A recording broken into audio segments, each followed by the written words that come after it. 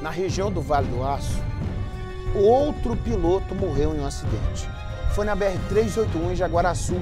Quem conta os detalhes pra gente é a Gisele Ferreira. A Gisele tem informação. Boa tarde para você, Gisele.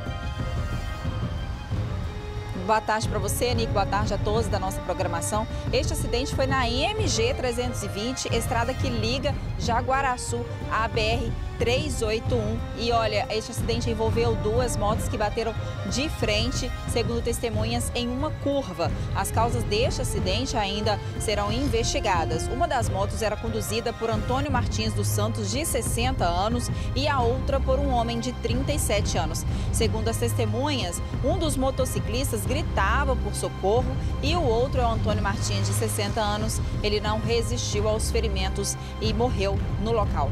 O motociclista de 37 anos, ele foi socorrido a um hospital com fratura exposta no braço esquerdo, escoriações pelo corpo e por causa dos graves ferimentos que ele sofreu durante o acidente, a polícia não conseguiu colher ali no momento depoimentos dele até para dizer como que aconteceu esta, esta colisão entre os dois. Mas testemunhas disseram que inclusive é um trecho de curva e que há, há vários acidentes que acontecem ali no local, mas as causas reais, né, o como aconteceu a dinâmica deste acidente, ainda será apurada pela polícia, Nico. É, como eu já disse aqui, olha só, também usuários informaram que é uma via que as pessoas, né, os condutores de veículos, eles acabam entrando em certo trecho ali em contramão. Mas são tudo informações de testemunhas, pessoas que viram, pessoas que é, relatam as condições também desta, desta rodovia, dessa MG 320. Eu volto com você, Nico.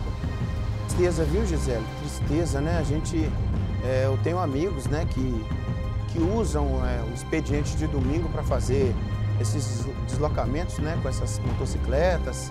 É, muito bem, tem aqueles, aquele uniforme, né, tipo um macacão, né, muito bem agasalhados, né, é um capacete diferente, né, para quem faz esse tipo de, de rolé de fim de semana, mas o fato de, de ter um acidente com motocicleta sempre entristece a gente, né, porque a gente sabe que o estrago é muito grande, né, Gisele, não dá tempo, às vezes uma frenagem não é suficiente, o veículo nunca fica é, equilibrado, né? sempre o piloto vai cair, aí tem uma lesão no pé, tornozelo, lesão no joelho, lesão no cotovelo.